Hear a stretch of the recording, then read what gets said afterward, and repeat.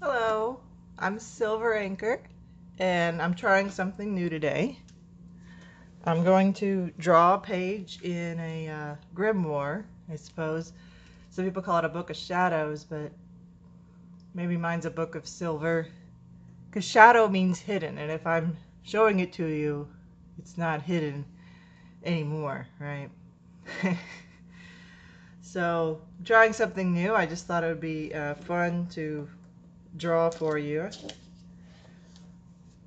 And thinking about what to draw today, I just started Leo season, uh, July 23rd. So that was just this week.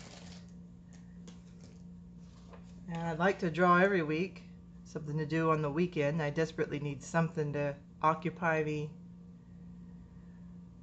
to do the thing. So what I did is I sketched last night and I used uh, carbon to transfer onto this paper.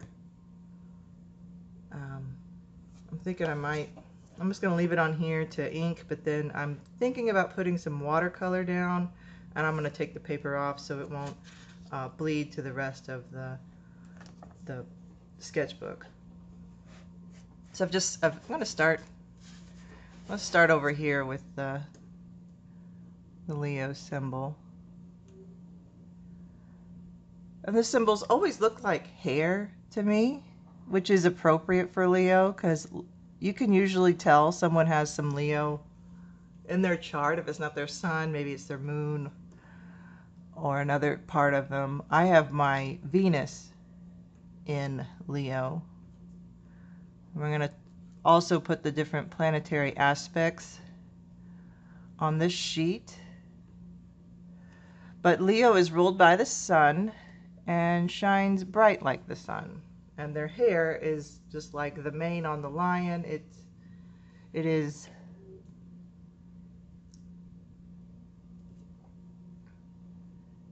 their pride, their drama, dramatic hair, fluffy hair, glorious crowns, I'm rotating my paper because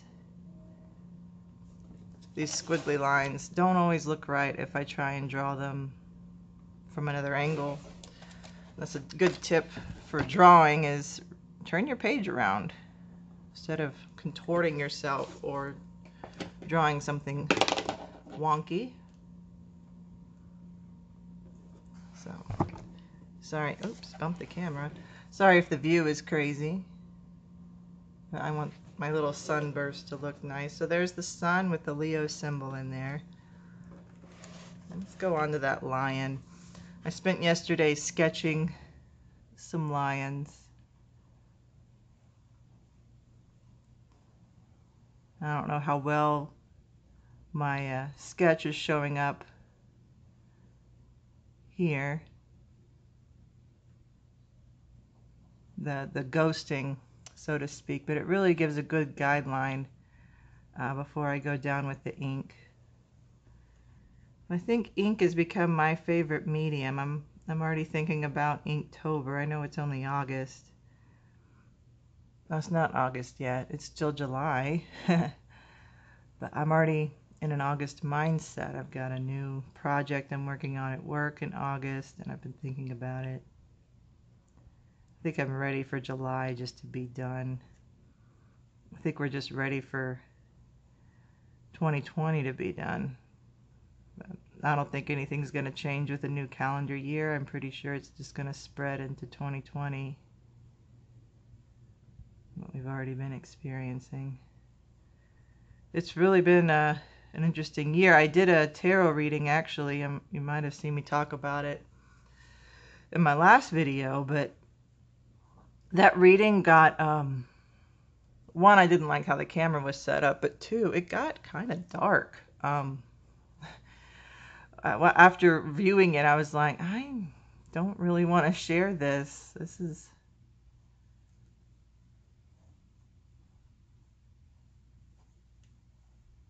it got just too dark for me this is the first time I've tried to draw on camera. I've, I've tried to set this up a few times. One thing I've learned is not to put the camera on the same table.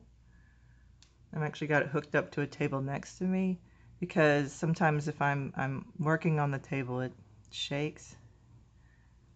And I've I've videotaped some other stuff, but it's still I guess in the phone. I don't have a proper camera. I'm using my telephone. It's the tool I have. But I'm, I've been promising myself if I if I keep doing some drawings and, and kind of prove to myself this is something I'm going to do, then I can reward myself with a camera. I just don't feel it's the right time, but I usually just wait till I'm sure about a purpose. I'm going to try this Tombow brush pen to write Leo. Hopefully, hopefully you Leos out there can take pride in my work.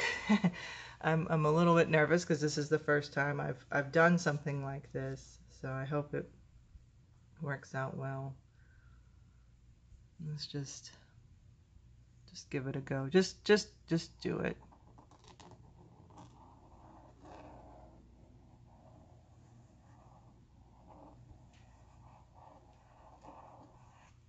Well, it is what it is. I've been kind of practicing on brush pen and lettering. And I've decided not to overthink because I think that was really holding me back on just starting doing these. Was wanting, you know, like, like archival level.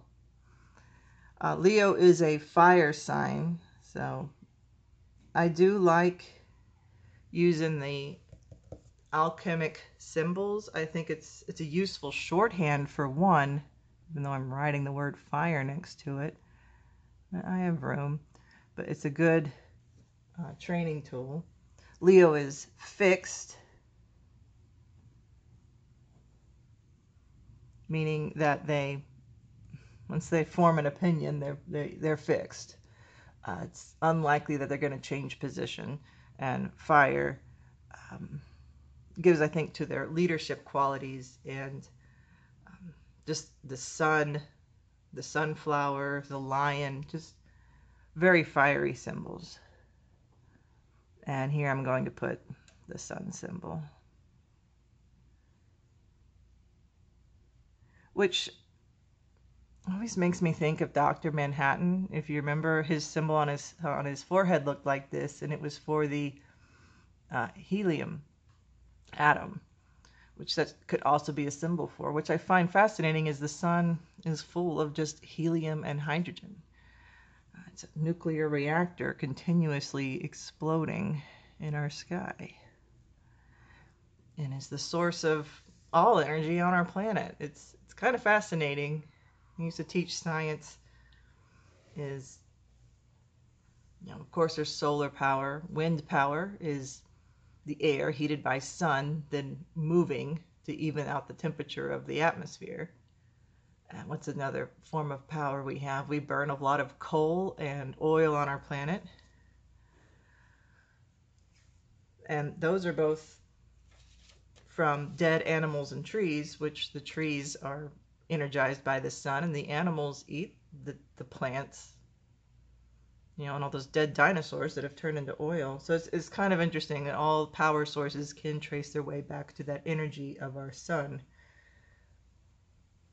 So I thought here I would write some of the attributes of Leo.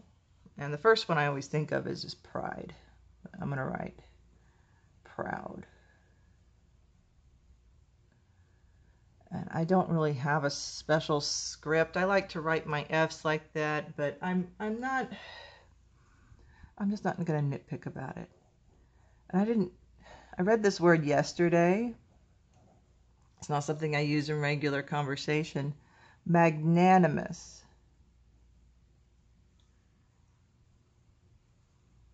Reminds me of the word magnificent, which it might be related to that, but it means uh, generous, and Leos are known for giving gifts. They like to give gifts to their loved ones. Leos are charming.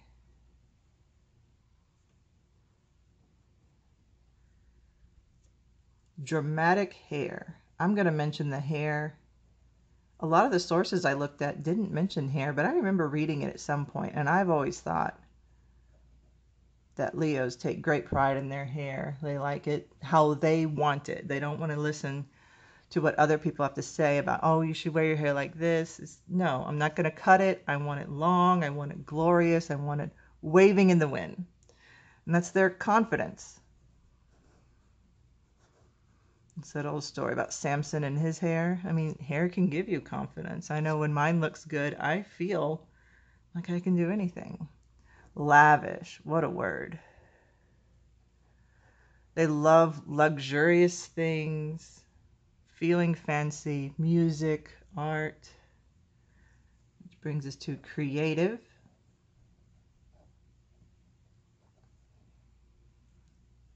Assertive deciding how I want to draw my A. I think I'm going to do it like this. Usually don't draw that many cursive S's. I don't like cursive R, so I don't draw it. I feel like my script is a blend of cursive and script. I also like writing in all caps, but I thought that might look weird. We might do that in some cases. Generous.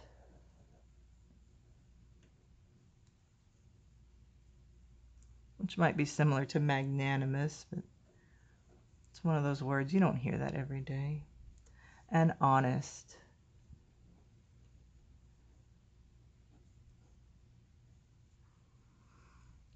So just some descriptor words to get in the mood of what what is Leo.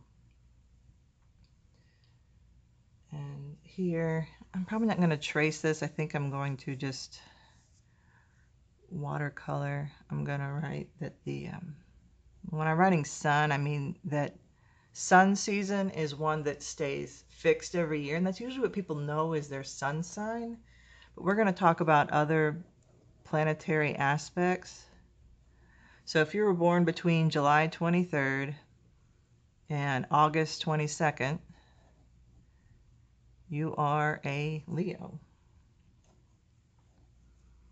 kind of went outside the border, but I'm probably going to erase that anyway. I'm going to um, erase all these pencil marks before we put down any color. But I like I like to plan. Hoping we see everything. I'm to move canvas up a little bit. And I just mentioned earlier that there are different planetary aspects. So I've I'm only going to put seven planets and there's a couple reasonings for that and you know people can get sad about pluto. I, I discussed it with a coworker the other day. She got whiny about pluto and i mean i was upset at first but i also understand the reasoning behind it. And, and some people are saying maybe some of these things that are happening now is we angered the god of death by taking away his planet that was given the name to honor him. There's might be some truth in there. Um, i'm going to do the seven that can be seen from Earth. Okay? Because you can't, you can use telescopes. Of course, that's how we know that Uranus and Neptune and Pluto exist, right? Vulcan might be out there somewhere, right? Which I know about as a Virgo. Virgos, here's Mercury right here. Virgos are ruled by Mercury, but they're sharing it with Gemini. And I remember reading once is there's another planet we still don't see yet, and it would be called Vulcan, uh, and it would replace Mercury for the Virgo's ruling planet. Because there's only so many planets. I think right now we have, including the sun and moon, we have um, nine. Because remember, you're not counting Earth. So it's 10, right? But we have 12 horoscope symbols. So some of them have to double up. And I know the sun is not a planet, but it is what we have ruling Leo. And sometimes you have to put in perspective of when this all started, you know, is we just saw objects floating in the sky. And of course, the sun and moon are just some of them, right? The sun and moon are very regular and we use them for our dates. Um, you may have seen these symbols before. Um, this is the sun, moon, Mercury, Venus, Mars, Jupiter, Saturn. Uh, these planets are gigantic, uh, so we can see them from Earth. They look like very large stars. And the way you can tell when you look at the sky, if you're looking at a planet or are you looking at a star, planets don't twinkle.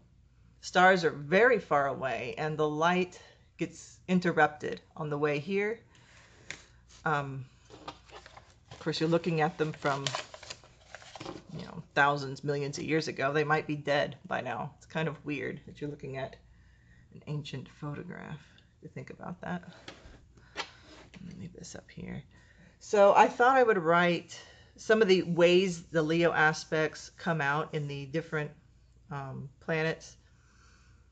And we're most familiar with Leo and Sun. If you were born in these days of the year, and the Sun repeats the cycle every year, unchanging. Maybe. There's a theory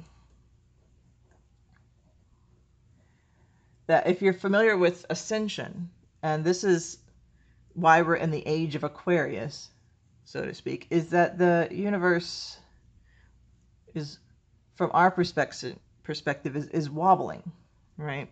So the stars are actually moving in relative position.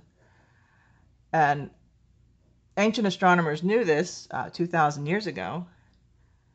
And we actually moved into the age of Pisces. Now, if you think about it, at the beginning of the year is Aries. Aries is the first sign when you start. It used to be the new year. We'll get into that later.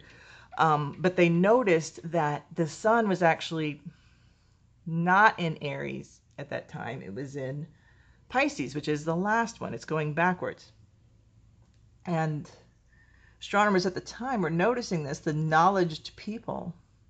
This was the same time as uh, Christ, and you know it was a very secret club because it was it was not accepted to be worshiping him in that time period. So they used the fish as a secret symbol. So you often see that fish with uh, Christianity now as a symbol of Christianity. So if you weren't sure why people put those fish bumper stickers on their car, um, that's why.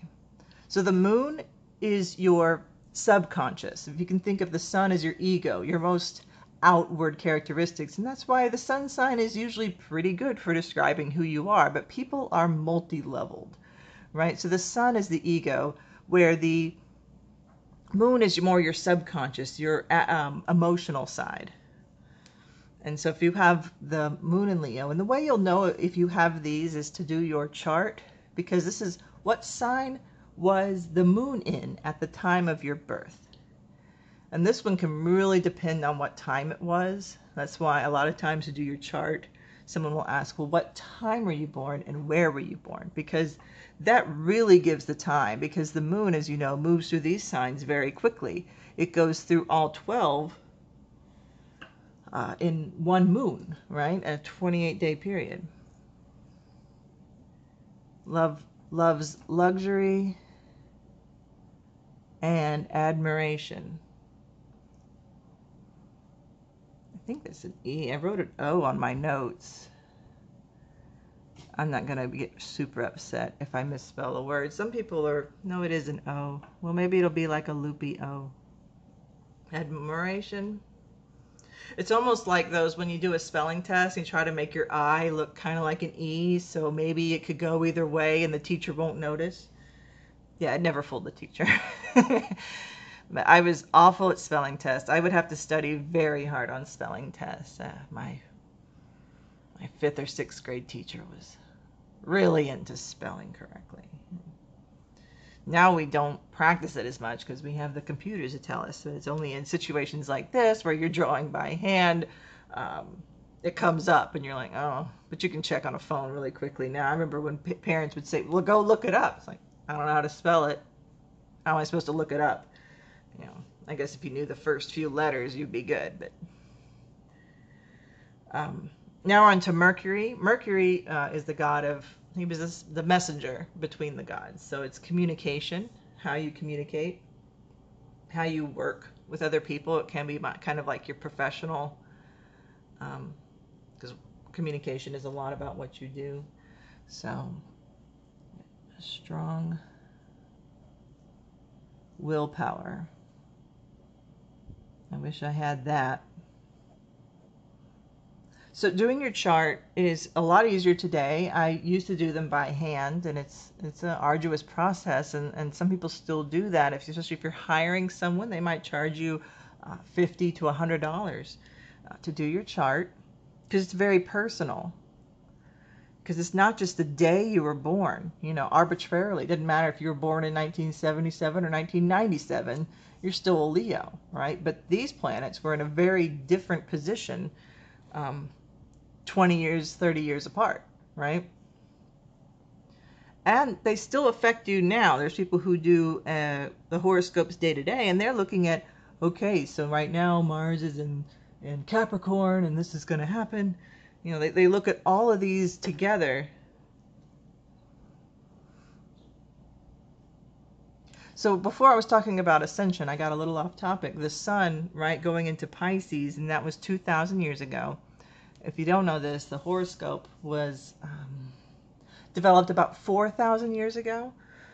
Um, so it was well before Christianity was, was even born. Um, you did have the older religions and things like that, but that's when the horoscope with the symbols that we understand now uh, was first created. So it's about 2,000 years between ascensions. So we're now 2,000 years after the time of Christ and that's why we're going, you hear people say the age of Aquarius, which is the sign before Pisces. So we're going backwards through the horoscope in another 2,000 years. You know, it will change again. But if you, if you look at the climate at the time, uh, some people say that they take on the aspect of that sign. It's almost like looking at these going in an even longer period because a sun is one year, a moon is one month. You know, it takes um, 10,000 days or 27 years for Saturn to come around. So they talk about when Saturn you know, when you're 27 years old or when 27 years have gone by, you know, you've revisited where Saturn was. That's actually a lyric in a Tool song I love. Um, Saturn comes around again. It's on the album 10,000 Days. And that's that is what 10,000 days is. It's approximately the length it takes for Saturn to go around. So you can look at these as almost periods of time. And so Ascension is a 2,000 year period. Of course, that's several, several generations of people, but you can kind of see through history how things have changed. And I honestly think, you know, it, it, it's kind of a fuzzy gray area. I think it started in the 1800s because we've developed so much from what we were like before. That was a huge jump, the 18 and 1900s.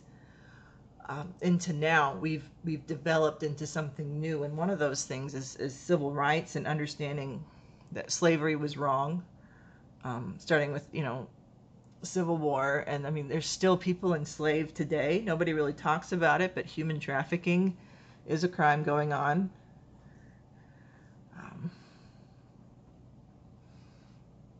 I don't want to get too political on that, but it's it's it still happens. People are sold, but it's not overt as it was before. It's it's it's a crime for sure. People are doing it uh, but it's not something that people do for business and have an entire farm, a plantation full of slaves working for them unpaid.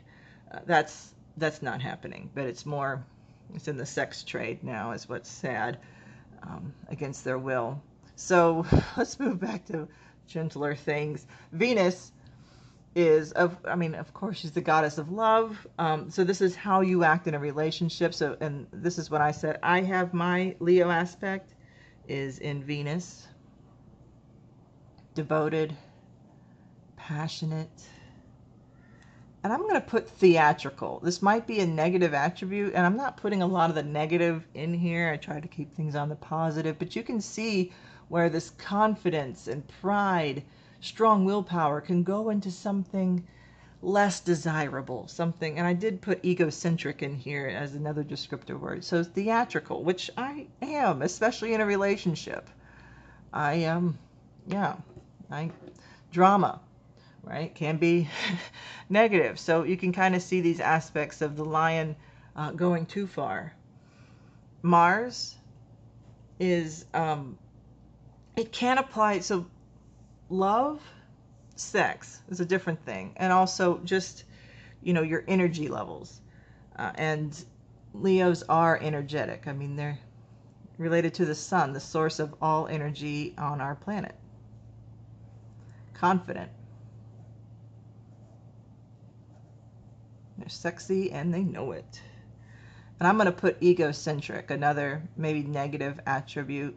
I wasn't sure if egocentric had a hyphen. I think it does not. I think it's one word. Language is evolving. I've, I've started to just accept that. I used to get perturbed a little bit when people say uh, or conjugate words incorrectly, like saying conversate. But it doesn't scratch me the wrong way anymore. And you have to remember, we don't talk like we did 200 years ago. Language does evolve. I mean, you know, we have these romantic languages. Well, they all come from Rome. They, they were just dissolved versions of Latin. That's why Spanish and Italian words kind of sound the same, but they're not. So now we're on to Jupiter. And when I think of Jupiter, I always think of that father. He's the father god. Um, in Greek, he's Zeus.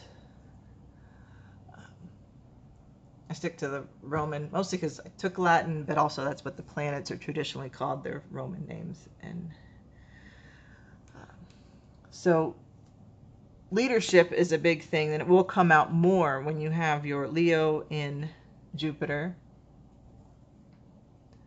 And they will lead and inspire others, which is a, a, a noble quality to have. Is not only you know being able to lead but inspire people to, to be their best. And then we come to Saturn. And this is your growth path in your life, like what you'll be working on in this lifetime. I'm definitely a follower of reincarnation, and there's things that you're working on in, in this life, and it can be hard to find that. Um, I've recently had a revelation that I am not here to be serious in this life. Um, I'm here to entertain and have fun, and I'm kind of excited about that. So that's really what inspired me to do this today is let me entertain you. I hope you're being entertained. Are you not entertained? Confident. An assertive leader. I'm going to put an ampersand just to save place. So you can see a lot of leadership, confidence, Think of the sun, the shining sun. It wants to be admired and noticed, the center of attention, the center of our solar system. Even if they didn't know that 4,000 years ago, it took a long time to accept that. And there's still a group of people who, who don't want to accept that. They still want the um, geocentric universe, where the Earth is in the middle. You might know these group as the flat earthers, because 4,000 years ago, they didn't know the Earth was also round. You know, they saw these round shapes in the sky. They didn't once think that our home was a round shape, too. So it's kind of interesting to think about. And last, I'm going to put a sunflower down here, and I am not used to drawing flowers. I'm not used to drawing animals either, so I'm far outside my comfort zone here. But I enjoyed it. I've um, been working on my drawing skills a lot. So it's it's been it's been fun to work on them.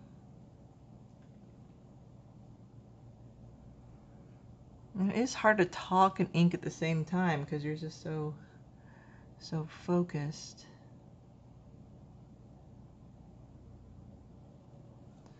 And sunflowers are actually a flower that kind of creep me out.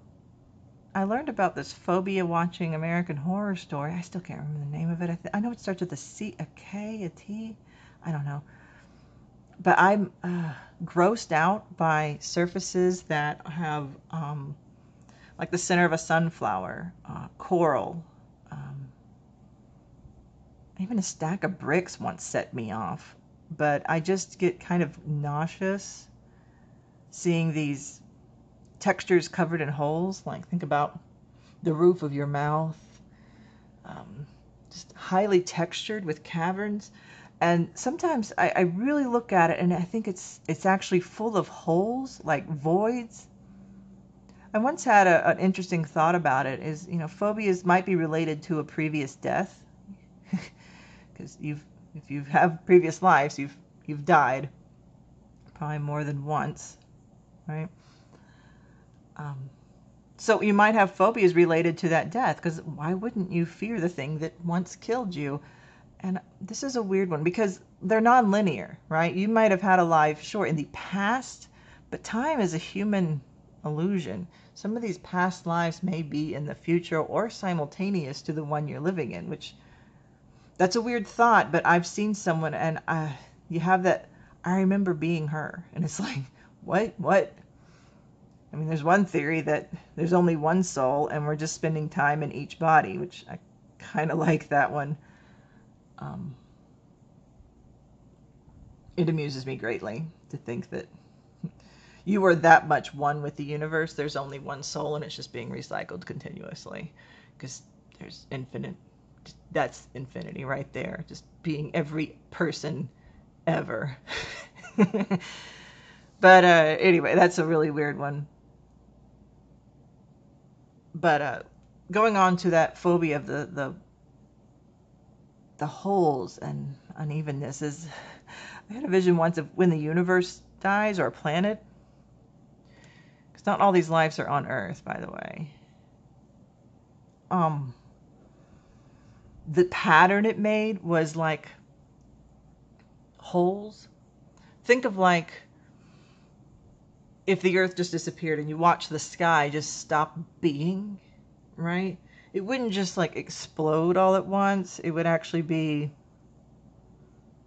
like like holes. That was just I don't know. It, I know that sounds crazy, but it was a, a theory that I I remember thinking about, and I was that's uh, sometimes you see things and you're like, why, why am I? And it freaks me out. So anyway, this is something that's making me uncomfortable to draw, but I'm willing to do it for this page. And sometimes it's just good to. There's nothing to really be afraid of of of hold filled textures. But yeah, the center of a sunflower, it's kind of beautiful. It's got this pattern to it. I'm not even going to try and draw I'm also got this on an ellipse, so it's it's like it's facing up towards the center of the page. I thought that would be really pretty instead of it just, I mean, it's almost pointed at the sun, which is the neat thing about a sunflower is if you took a slow motion camera or sat there and watched one all day, you would watch them move towards the sun. It's it's an interesting. Many flowers do this, but because of their size, uh, it's it's it's amazing and they grow in such large groups together. And they are a food source. I often forget that. that some people have them growing on their property and they can gather those sunflower seeds and eat them. Because that's what this is in the middle. That's why it's so big and it's got this beautiful, it's probably a Fibonacci sequence as it seems like everything that spirals out in nature is a uh, Fibonacci number. So it would start in the middle and then each round of the plant, right? And it makes this beautiful spiral. So in that way, it's beautiful, but it's the the nubby, you know, texture of it that upsets me. But I didn't know it was a common like phobia until it was mentioned in I think it was uh, the cult American Horror Story. And one of the characters was in her therapist office talking about it, and, and they had a name, and I, wow, I had no idea this was a thing. So I hope this has the appearance of a sunflower. It was kind of fun to practice. That's what I did yesterday. Is I just sketched both of these things uh, until I was kind of happy with them. I drew them in different ways, and I've noticed when I do, uh, I draw faces in three quarter mostly because I'm, I'm I'm a new drawer, and one of the classes I took was just draw everything in three quarter to start out.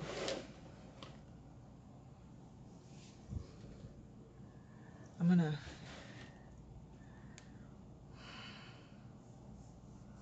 not sure if I want to outline that. I think I'm just gonna leave it doing what it's doing and then outline it in color. It doesn't need the ink. So the birthstone for a Leo, and often this is, I think, the August birthstone. As you can see, most of Leo is in August. They don't line up with our current calendar. I have a lot of conspiracy theories about calendars, but we won't get into that today. It's not really conspiracy, but there's a lot of history of why calendars have changed and the things that are in them we're kind of stuck with now. I just don't see them changing. Uh, sunflower, of course, and gold is the metal associated with Leo. I don't know how long this has taken, and I don't know how to edit these videos, so I just thought I would droll on and on. So this is everything I wanted to write, but I don't know if I want to paint in the same video. I might make a separate one, just because this has gone on so long. So I'm going to zoom out a little bit so you can see the whole thing. I don't know. But I'm pretty proud of it. I'm going to stop here and then start a fresh video. I need to get some water anyway and put some watercolor wash. I'm to take some pictures of this because another thing I thought I might do is make uh, coloring pages or just a downloadable version for somebody who would like to build their own grimoire book of shadows they they are you are more than welcome to use my pictures print them out uh, and make your own i'm going to talk about more how i'm organizing mine this is my first page. So I'm not, some people just, I don't want to do a journal in the traditional sense. I'm actually putting these in a binder because you might want to change the order of them, right? And I'm not starting at Aries, obviously, and they're not all going to be horoscope related. I actually have lots of things I want to talk about, but just thought every week, let me just do a page of what I want to draw eventually we'll get everything in there. I mean, this is a lifetime project. That's what a grimoire is. It's it's your lifetime knowledge poured into a book. Because just putting it on paper makes you understand it better. All right, so I'm going to sign off now, and I'm going to get my water ready, and I'm going to post a second video of me painting. It should go a little quicker, hopefully. I'm going to also clean up uh, some of the pencil graphite marks. So thank y'all for watching. I hope you've learned a little bit about Leo today and enjoyed watching me ink this page. Thank you so much.